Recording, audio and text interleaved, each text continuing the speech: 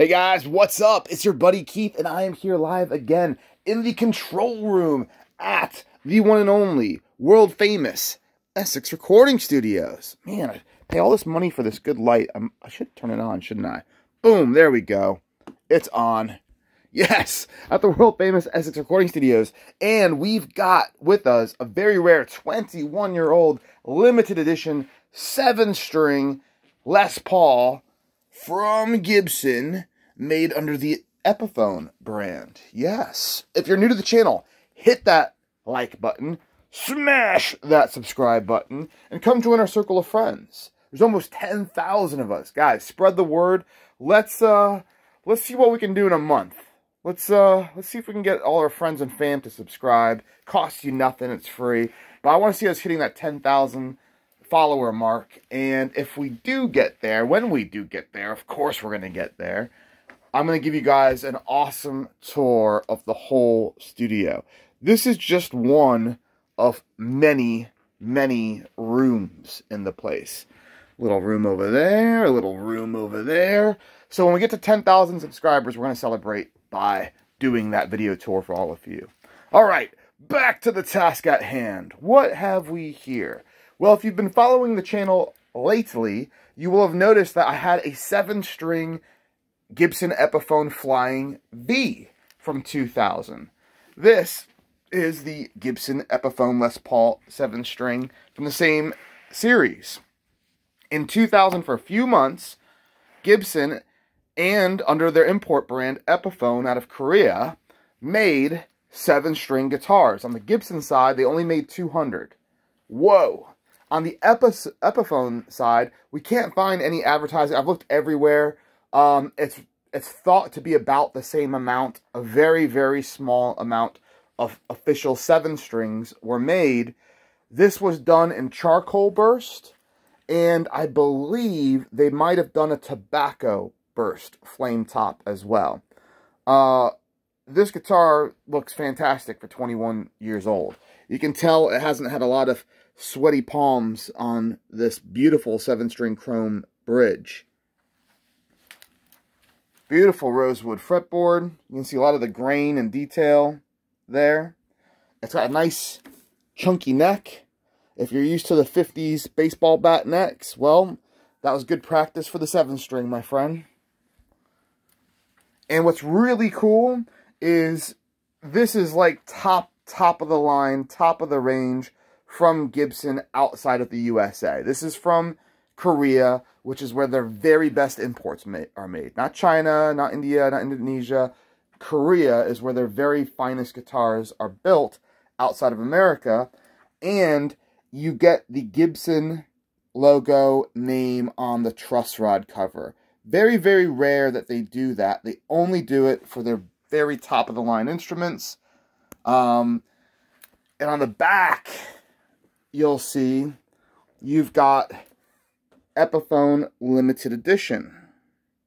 Now, I actually saw an old post on the forums from way back in the day that said these were actually sent to be inspected and set up at the Gibson Custom Shop.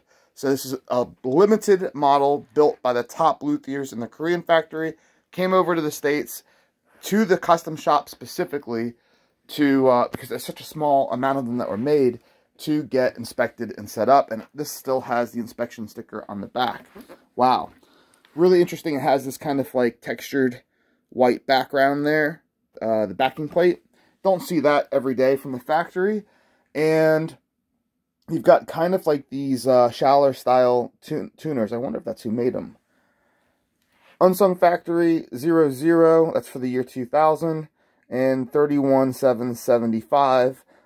I don't know if, if one of those is like, I don't know if it's 317 is the, the day, and then 75 is the guitar made for that day. Not quite sure. Um, that's my guess on how the final numbers run through. But yeah, I mean, you've got these awesome seven string pickups with the pick guard there all around it. Every all the plastics all match and just this really nice AAA uh, book matched flame top that looks gorgeous. Charcoal burst, they call it. Kind of reminds me of a Gibson Custom Shop Class 5. If you see, I think we had a Class 5 custom shop very similar to this. Really, really cool guitar, guys. Today's just been an Epiphone day. We just did the Zakk Wylde Buzzsaw Epiphone. And we did the Zakk Wylde Camo Bullseye Epiphone. So we, are loving our Epiphones today. Um, when it comes to the 7 strings, these things are highly sought after. Extremely rare to get anything 7 string from Gibson at all. The Flying V we had lasted, I think, one day on Reverb.com before it got sent out to America. We, um, I don't expect this one to last much longer than that. You, you can't find these. Good luck. Um, the last time I saw one, it was like in 2010, more than a decade ago. And it was, there's a comment about, oh man, I missed it on eBay. It got bid to $800. Well, the guitar market today is obviously a lot different than 2010. So this will get snapped up quickly. It's uh, a killer guitar. Might even, you know, the guy that got the Flying V might might just grab this one too to have in the collection. I don't know. I'll have to shoot him a message. But this will go up on the website, EssexRecordingStudios.com and on Reverb.com. Americans watching this, if you want to buy this, buy it through the website especially. Everyone should buy it through the website saves us on fees, but also you don't have to pay for Americans. Half the states have an online sales tax from big sites like eBay and Reverb. So if you buy anything through our website, you don't get charged that sales tax. Little life hack for you. All right, guys. Well, condition on this, very, very, very clean. There's a few minor marks in the top. I think I saw like a little mark right there. It's kind of hard to see. Um, a couple small, very small dings there. Um, again, with a dark, dark guitar like this, with a figured top, it kind of hides any little bits. There's a little, a little tiny, tiny little thing right there. Um, on the back, what do we have? There's a ding here. Let's see if we can get the light on it. There you go. Ding there. Um, think two things there. That's about it, guys. You know, the uh, headstock looks good. No, no cracks or neck breaks or repairs. There's a little inventory sticker from a dealer back in the day. It looks like, in focus right there. Um, yeah, and aside from that, just a good-looking guitar that hasn't had a lot of play. I mean, let's look at the frets on this. Yeah, I mean, there's no, there's zero fret wear on this. This thing hasn't been played at all. Someone probably said, you know what? I want to learn how to play seven string. Got this awesome thing and just like said, nope. I'm going to go, uh, go out and chase girls instead. Yeah. Well, that's fine. More seven strings for the rest of us. All right, everybody. I got a scram. Dinner's waiting for me. Ice cold punk IPAs from Brewdog are waiting for me. And, uh, yeah, I think it's been a good day's work today here at the old Essex Recording Studios. What color do we like? Oh, I got the green on. Let's try maybe like, like the blue. Boom. Oh, that looks kind of cool. Maybe like the red.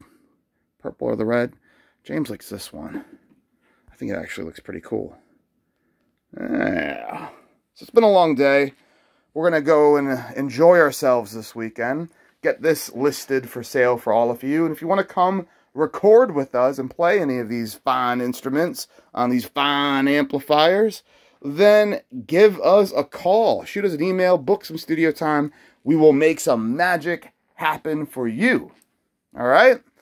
Thanks, everybody. I am Audi 5000. More guitar videos coming tomorrow. See ya.